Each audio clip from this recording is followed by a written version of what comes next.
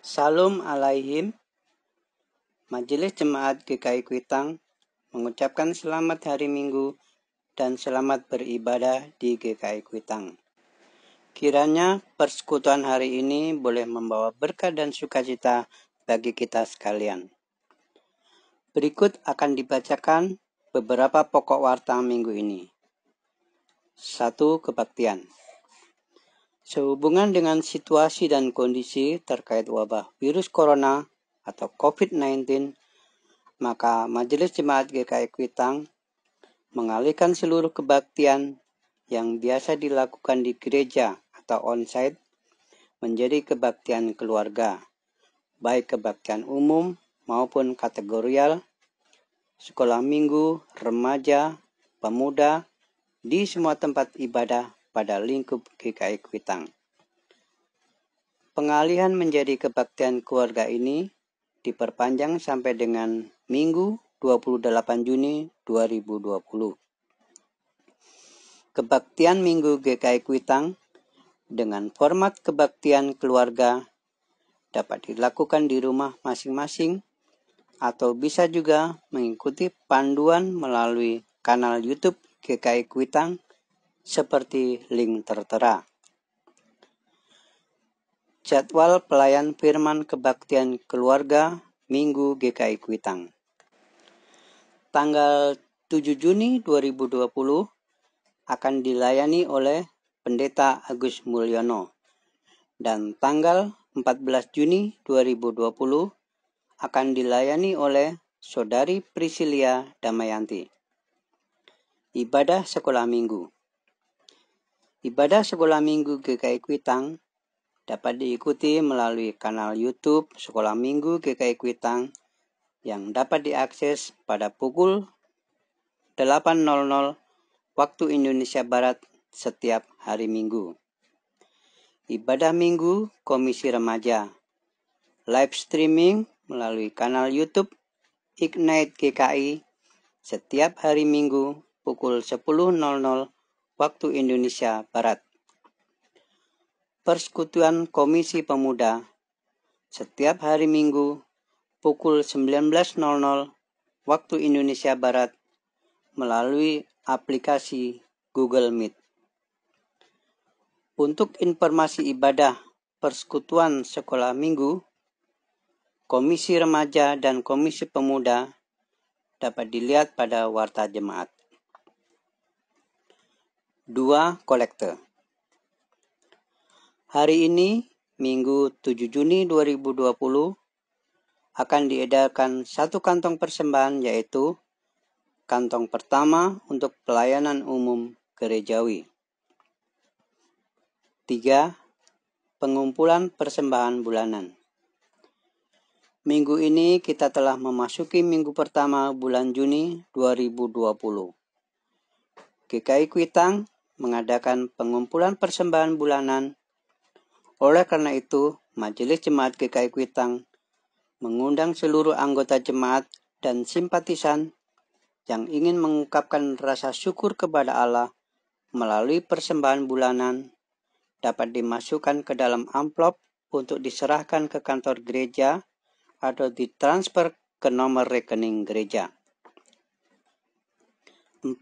Penggalangan dana untuk dampak COVID-19 GKI Kuitang mengadakan penggalangan dana bagi jemaat GKI Kuitang yang terkena dampak ekonomi akibat pandemi COVID-19.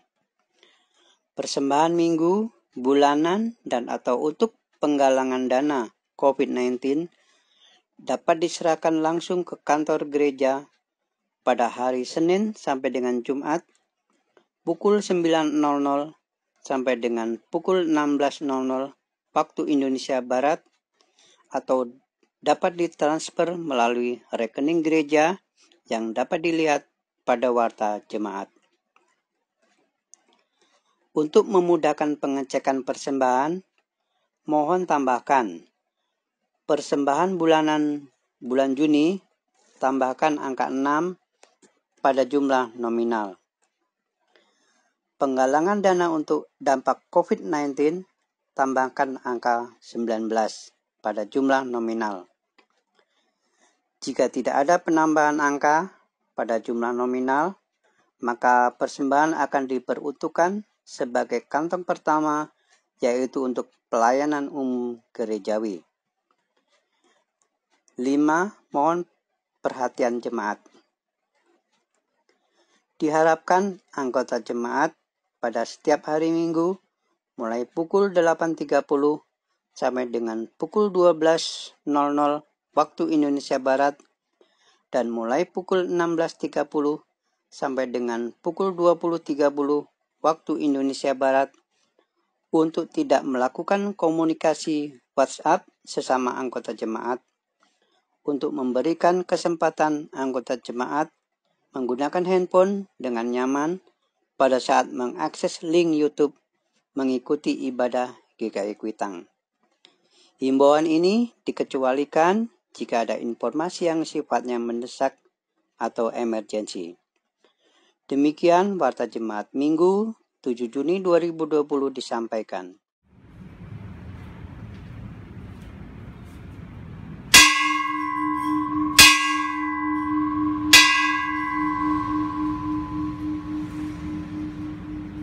Tuhan, selamat hari Minggu. Marilah kita mempersiapkan ibadah hari Minggu Trinitas yang bersamaan dengan pembukaan bulan diakonia GKI Klitan. Kiranya Tuhan memberkati.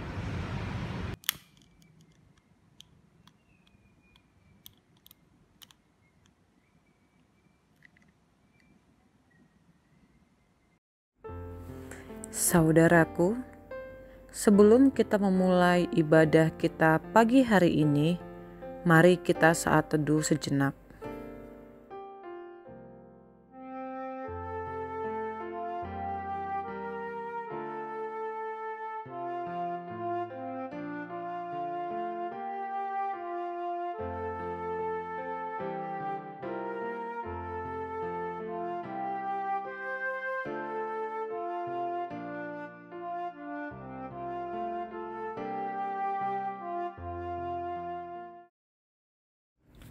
Saudaraku, persekutuan gereja ibarat tarian poco-poco. Ketika tarian poco-poco ini hanya ditarikan oleh satu orang saja, maka keindahan tarian itu tidak nampak. Tarian itu menjadi indah justru dan menarik ketika banyak orang terlibat dan melakukan gerakan secara bersama. Tidak perlu harus menggunakan seragam yang sama, akan tetapi gerak yang serempak menjadi kunci dari keberhasilan tarian poco-poco itu. Persekutuan yang diikat oleh kasih akan menghasilkan relasi yang dekat sehingga kita dapat berderap dan menari bersama.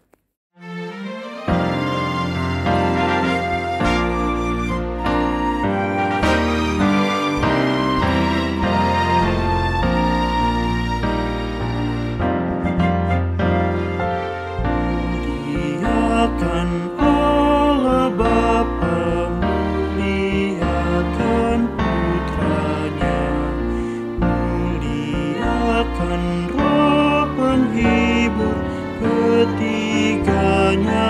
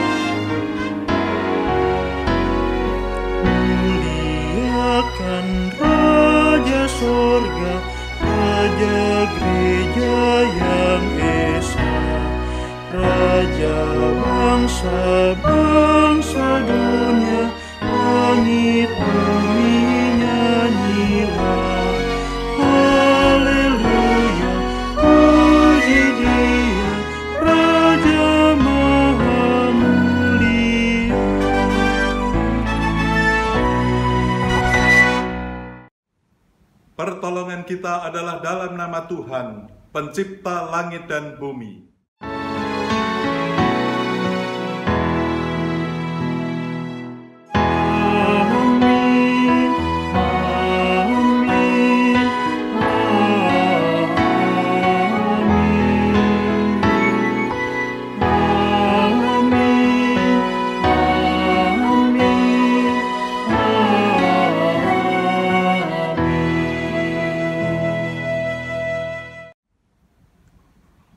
Kasih karunia dan damai sejahtera dari Allah Bapa dan dari Tuhan kita Yesus Kristus menyertai saudara. Saudaraku, pernahkah kita memperhatikan bilah-bilah pada kipas angin? Pada umumnya, bilah kipas angin itu berjumlah tiga buah bilah.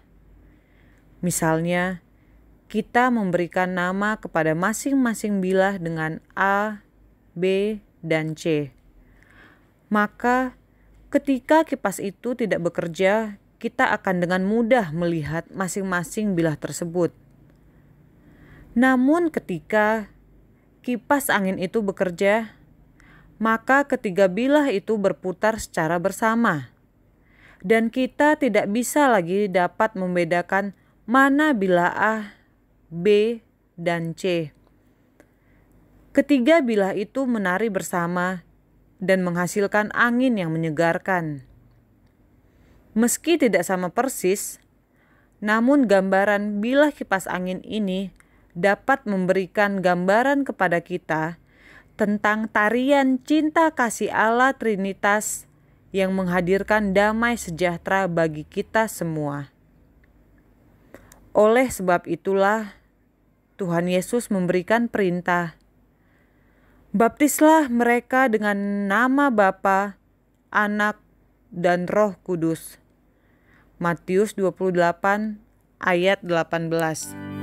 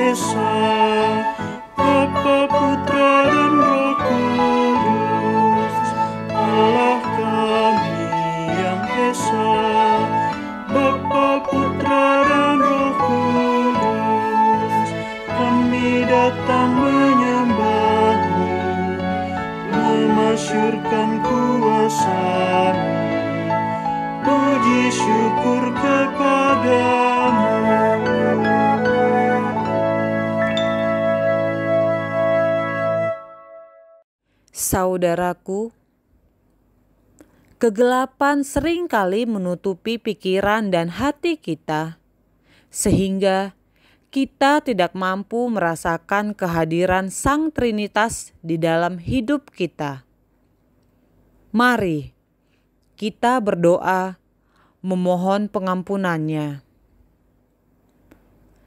Ya Allah Tritunggal, kami sering kali tidak peka untuk merasakan kehadiranmu di dalam kehidupan kami, sehingga kami kehilangan hati untuk orang lain, bahkan untuk mereka yang dekat dengan kami.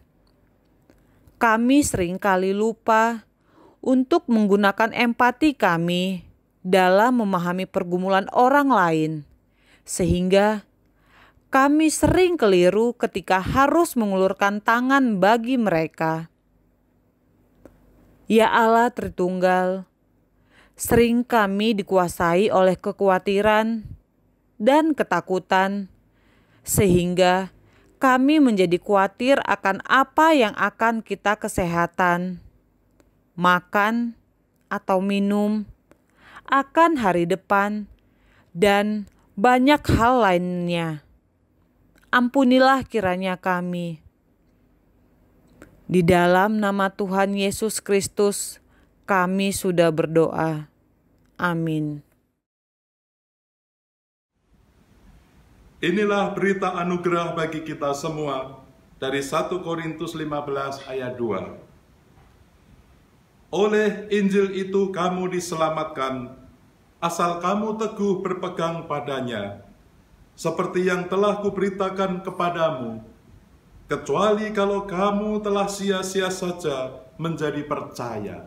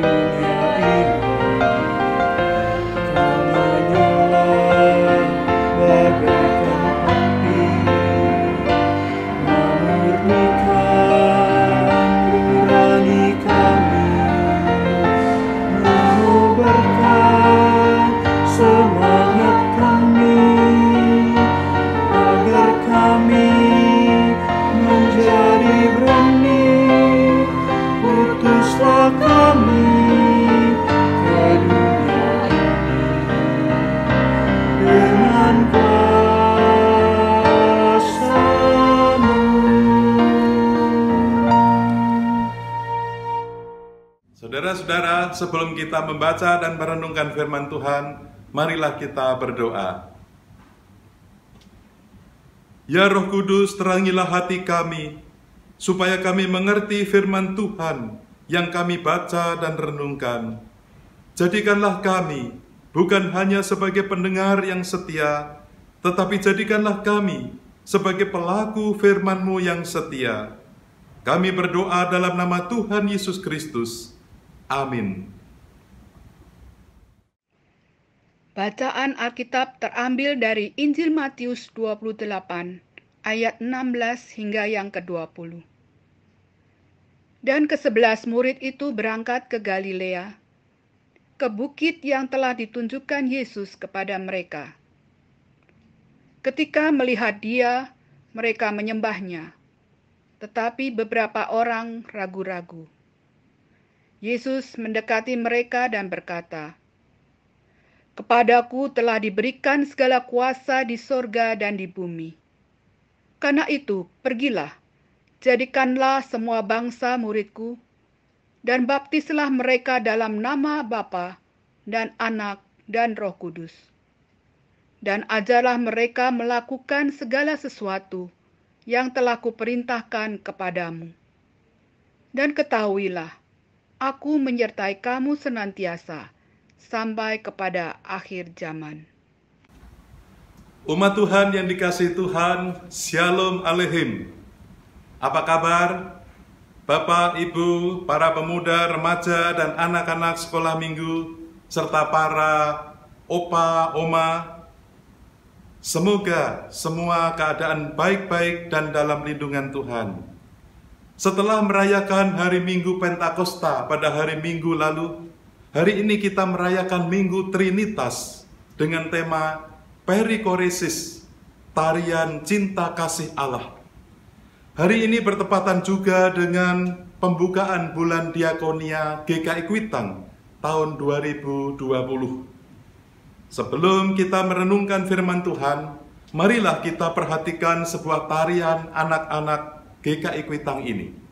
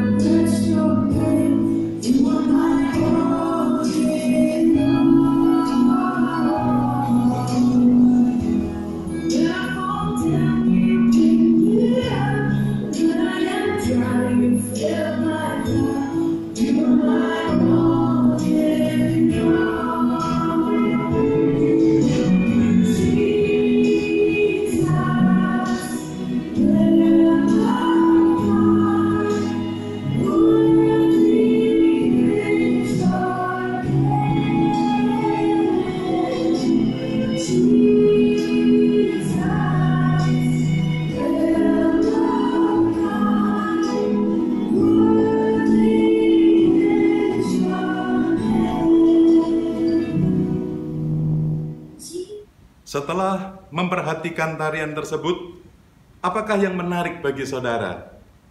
Saya percaya eh, tentu ada banyak pendapat Bapak, Ibu, dan saudara sekalian. Tetapi ada satu hal yang ingin saya sampaikan, adalah bahwa para penari itu lebih dari satu orang. Mereka menari bergerak secara harmoni. Gerakan mereka saling mengisi dan memberi ruang sehingga tidak bertabrakan dan menampilkan karya seni yang indah. Saudaraku, jikalau tarian anak-anak manusia begitu indah, terlebih lagi tarian cinta kasih Allah. Tarian cinta kasih Allah itu disebut perikoresis. Mari kita merenungkan. Pertama, apakah makna perikoresis itu? Secara harafiah, perikoresis berarti gerakan memutar yang saling mengisi dan memberi ruang. Umumnya tarian perikoresis dilakukan secara berkelompok yang terdiri dari tiga orang atau lebih. Meskipun tarian anak-anak tersebut tidak dapat disebut tarian perikoresis, tetapi tarian ini telah menunjukkan hal yang sama, yaitu gerakan memutar yang saling mengisi dan memberi ruang. Awalnya dengan gerakan yang lembut, tetapi kemudian semakin cepat. Seiring dengan naiknya tempo tarian, gerakan juga akan semakin cepat dan para penari akan terlihat saling memadu. Indah sekali bukan? Bayangkan saudara, relasi Trinitas Allah sebagai Bapa, Anak, dan Roh Kudus merupakan suatu jalinan kasih. Bapa sebagai subjek yang mengasihi dan anak sebagai objek yang dikasihi. Namun pada sisi lain, anak sebagai subjek yang mengasihi, Bapa sebagai objek yang dikasihi. Dalam diri Allah sejak kekal telah terdapat gerak hidup cinta kasih. Mengapa saudara? Karena Allah adalah kasih. 1 Yohanes 4 ayat 8. Konsep Trinitas Allah dalam pemahaman ini disebut perikoresis yaitu Allah sebagai Bapa, Anak, dan Roh Kudus saling mendiami dan saling tinggal dalam keesaannya. Maka lambang perikoresis digambarkan sebagai berikut. Saudaraku, tahukah saudara bahwa konsep perikoresis ini menjadi landasan utama GKI memahami Trinitas? Konfesi GKI mengusung tema berperan serta ke dalam persekutuan kasih dan karya keselamatan Allah Trinitas dan kental dengan penghayatan Allah Trinitas sebagai Allah persekutuan yakni perikoresis. Mengapa GKI memilih konsep perikoresis sebagai pemahaman mengenai Allah Trinitas? Karena GKI menolak pemahaman Allah Trinitas sebagai satu pribadi dengan tiga fungsi. Melainkan Allah Trinitas adalah Allah persekutuan. Bapa, Anak, dan Roh Kudus. Saudara-saudara, apakah hubungannya dengan bulan diakonia GKI Kuitang? Sebenarnya manifestasi kuasa Allah yang menyatakan diri sebagai Bapa, Anak, dan Roh Kudus memampukan saudara dan saya untuk menjalin relasi yang indah, relasi kasih dengan sesama. Semangat Bapa, Anak, dan Roh Kudus inilah yang memberi, mendasari pelayanan diakonia kita sebagai umat Tuhan. Kedua, bersediakah melaksanakan pengutusan yang diperintahkan Tuhan? Mari kita mempelajari firman Tuhan dari bacaan Matius pasal 28 ayat 16 sampai 28. Pasca kebangkitan Tuhan Yesus, ke-11 murid kembali ke Galilea sebagaimana yang diperintahkan malaikat kepada mereka. Hal itu menunjukkan bahwa Galilea memiliki peran penting bagi penghayatan iman para murid. Iman mereka bertumbuh di Galilea. Dan dari Galilea, para murid menerima pengutusan untuk pergi ke seluruh dunia. Menarik sekali, Injil Matius tidak menyebut para murid dengan sebutan rasul. Mengapa? Karena sebutan para murid menunjukkan keakraban relasi antara Tuhan Yesus dengan murid-muridnya. Akab akrabnya relasi antara Tuhan Yesus dan murid-muridnya tampak melalui perintah bagi para murid untuk pergi ke sebuah bukit. Rupanya bukit atau gunung merupakan tempat khas bagi Tuhan Yesus untuk menyampaikan wejangan-wejangannya. Dalam ayat 17 dikatakan, ketika mereka melihat Yesus, mereka menyembah dia. Matius menggarisbawahi kata menyembah. Penyembahan merupakan wujud pengakuan pada Kristus yang sudah bangkit dan berkuasa. Namun pada ayat itu juga disebut pula keraguan dari beberapa orang. Siapa yang ragu-ragu? Tidak disebutkan. Apakah dari antara kesebelas murid itu? Banyak penafsir yang mengatakan bukan dari kesebelas murid itu. Namun orang lain yang turut serta dalam perjalanan ke bukit itu. Saudaraku, Tuhan Yesus melihat hal itu. Ada yang menyembah, ada yang ragu-ragu. Tuhan Yesus mendekati mereka dan berkata, Kepadaku telah diberikan segala kuasa di sorga dan di bumi. Kuasa Tuhan Yesus tidak terbatas. Tuhan Yesus yang bangkit itu menegaskan kepada mereka yang masih ragu-ragu, supaya mereka membuka diri dan meyakini Tuhan Yesus berkuasa di sorga dan di bumi. Dan sekaligus Tuhan Yesus meneguhkan keyakinan setiap orang yang percaya kepadanya. Termasuk kepada kita pada saat ini. Segala kuasa di sorga dan di bumi ada di tangan Tuhan Yesus. Puji Tuhan. Setelah Tuhan Yesus meneguhkan mereka, ia memberikan perintah. Karena itu pergilah di dalam ayat 19 dari Galilea, para murid diperintah oleh Tuhan Yesus untuk pergi. Sebelum meninggalkan Galilea, mereka harus yakin pada Tuhan Yesus. Semua murid tidak boleh ragu-ragu, sebab kalau menjalankan tugas pengutusan dengan ragu-ragu, tidak akan mendatangkan kebaikan. Demikian juga Tuhan mengutus saudara dan saya untuk melayani Dia kita tidak boleh ragu-ragu. Amin saudara-saudara. Tuhan Yesus bersabda di dalam ayat 19. Jadikanlah semua bangsa muridku.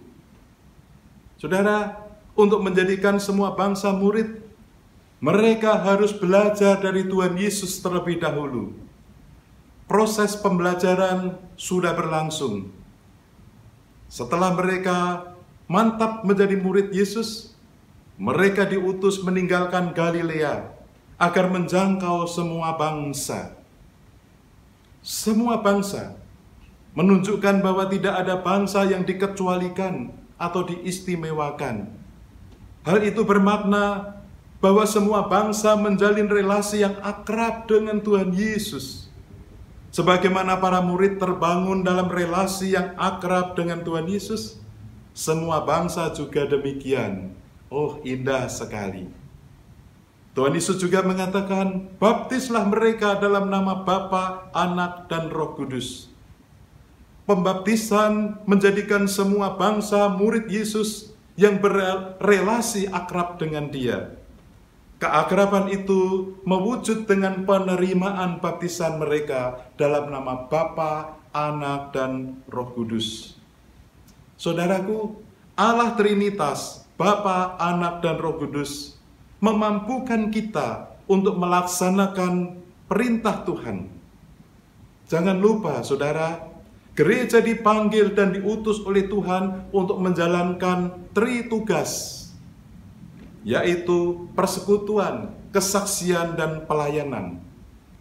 Koinonia, marturia, dan diakonia. Salah satu tugas penting adalah melaksanakan diakonia. Pendeta Yosef Widya Atmaja dalam bukunya Yesus dan Wong Cilik menyebutkan beberapa model diakonia yang dapat dilakukan gereja saat ini. Yang pertama, diakonia karitatif digambarkan sebagai tindakan belas kasihan kepada orang lapar dengan memberi sepotong ikan. Yang kedua, diakonia reformatif atau diakonia pembangunan digambarkan dengan menolong orang yang lapar dengan memberi alat pancing atau bantuan modal dan mengajar memancing atau bantuan teknologi. Yang ketiga, diakonia transformatif digambarkan dengan mata terbuka, yaitu pelayanan mencelikan mata yang buta dan memampukan kaki orang untuk kuat berdiri sendiri. Salah satu contoh yang sedang dilakukan oleh jemaat GKI Kuitang pada masa pandemi COVID-19 ini adalah membentuk pelayanan untuk memasarkan hasil karya jemaat dan simpatisan berupa makanan, minuman, dan lain-lain supaya usaha mereka terus bertahan. Dan pelayanan ini diberi nama Mitra Sahabat Kuitang. Gereja dalam berdiakonia dipanggil untuk terus mengusahakan bentuk-bentuk terang yang transformatif. Sebagai penutup dalam renungan ini, J.C. Sikel, seorang teolog Belanda mengatakan, gereja tetap hidup tanpa gedung. Tanpa diakonia, gereja mati. Secara tegas dia mau mengingatkan akan tugas penting gereja, yaitu berdiakonia. Saudara-saudaraku, jemaat GKI Kuitang adalah jemaat yang diberkati oleh Tuhan dengan berbagai macam potensi dan talenta. Jemaat yang memiliki profesi, profesi di berbagai bidang. Ada kaum muda, dewasa, pasutri, lansia. Bersediakah saudara sebagai gereja Tuhan ikut ambil bagian terlebih di masa krisis pandemi COVID-19 ini untuk melakukan tugas pengutusan di tengah-tengah masyarakat untuk melaksanakan diakonia dengan cara baru bertolong-tolonganlah menanggung bebanmu. Demikianlah kamu memenuhi hukum Kristus. Selamat menjalankan bulan diakonia GKI Kuitang tahun 2020. Tuhan memberkati. Amin. Saat teduh bagi kita semua. Setelah saat teduh, grup The Jadul GKI Kuitang akan mempersembahkan sebuah pujian mereka adalah remaja GKI Kuitang zaman dulu yang tetap setia melayani Tuhan. Mereka akan mempersembahkan pujian yang berjudul I will sing of the mercies of the Lord.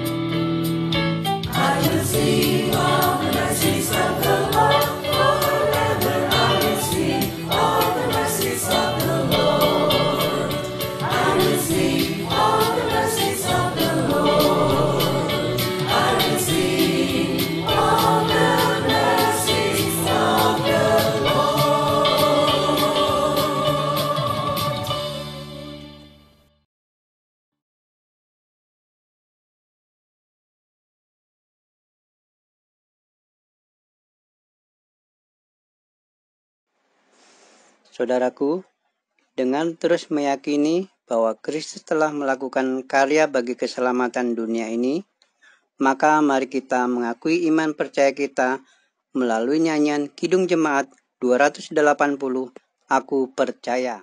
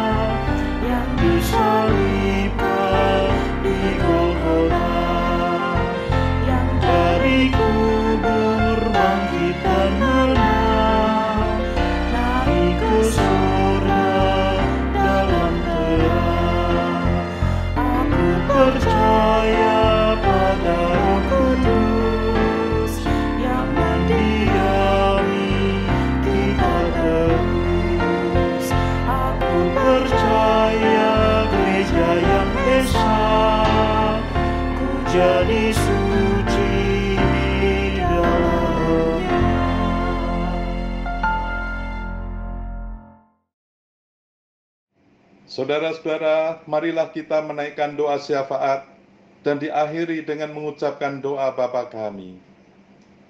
Ya Tuhan, Allah Tritunggal yang kudus, yang kami sembah dalam nama Allah Bapa, Anak, dan Roh Kudus.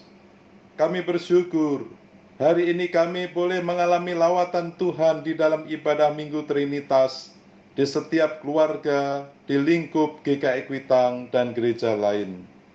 Melalui ibadah Minggu Trinitas ini, kiranya setiap keluarga dapat merasakan damai sejahtera Tuhan dan semangat untuk melayani Tuhan dan sesama.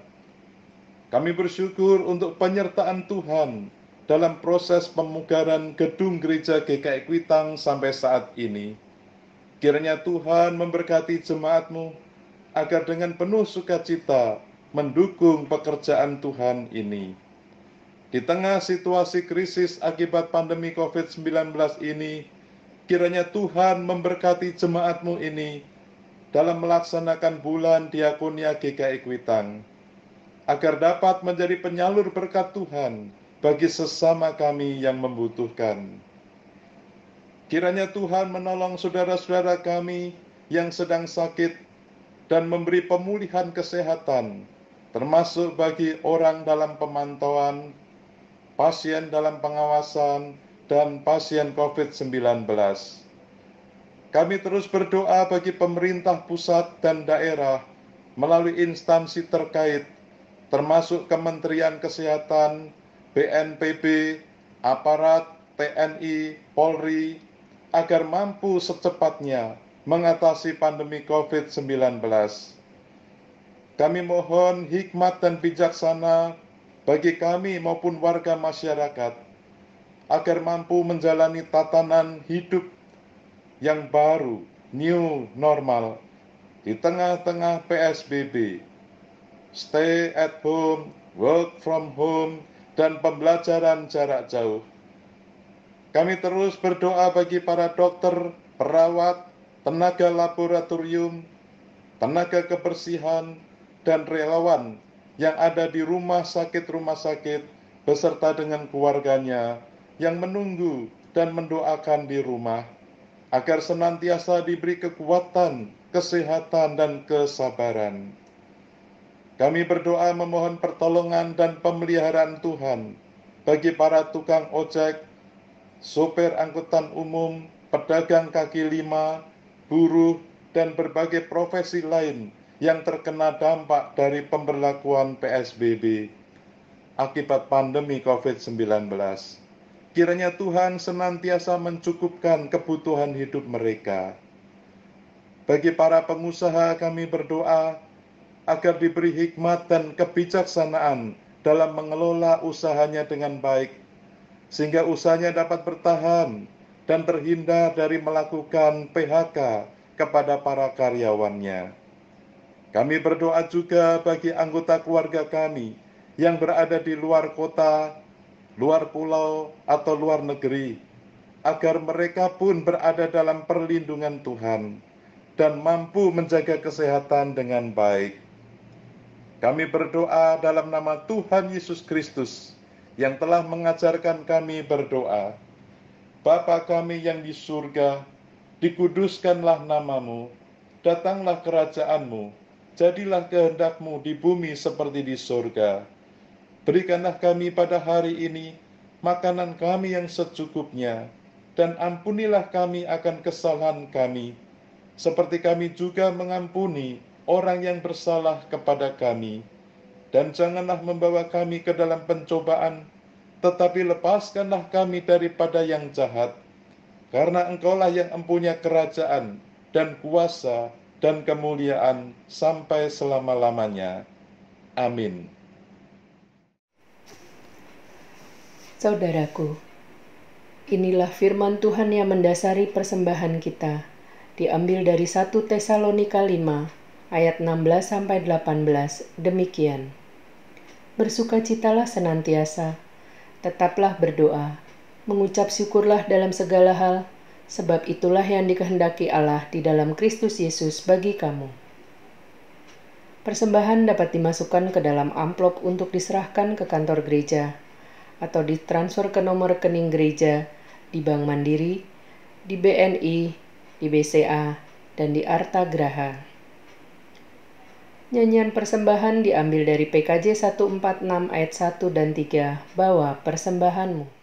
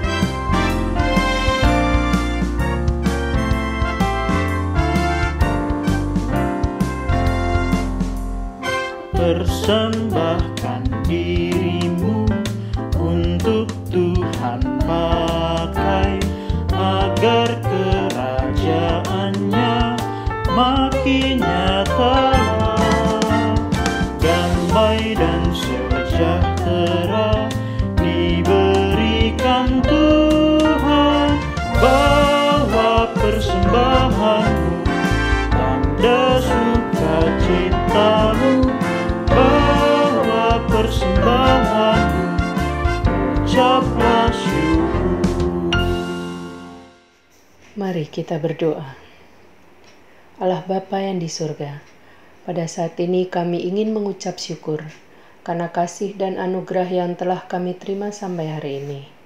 Kami mengucap syukur Bapa karena dalam masa pandemi COVID ini Engkau tetap memberikan kami kekuatan, kesehatan, sehingga kami dapat beribadah pada saat ini, walaupun dengan ibadah online. Kami mau menyatakan syukur kami dengan memberi persembahan. Layakan dan terimalah ya Tuhan. Berkati persembahan ini untuk dapat dipakai dalam melayani pekerjaan Tuhan di dunia ini melalui jemaat GKI Kuitang dan pos-posnya. Terimalah persembahan syukur kami, dalam nama Yesus kami berdoa. Amin. Saudaraku, Musik surgawi sudah berkumandang mengajak kita turut serta dalam tarian cinta kasih Allah bagi dunia ini. Mari kita persembahkan hidup kita dengan mengulurkan tangan bagi mereka yang memerlukan. Dengan demikian, kita memperkenalkan cinta kasih Allah itu kepada mereka.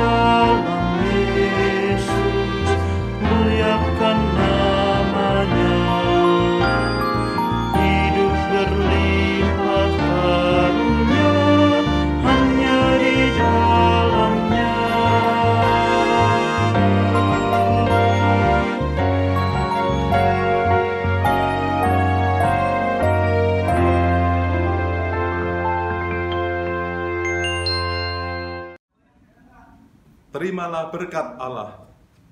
Tuhan memberkati engkau dan melindungi engkau.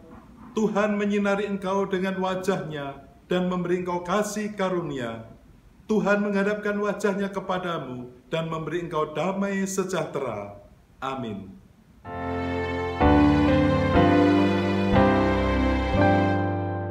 Hallelujah.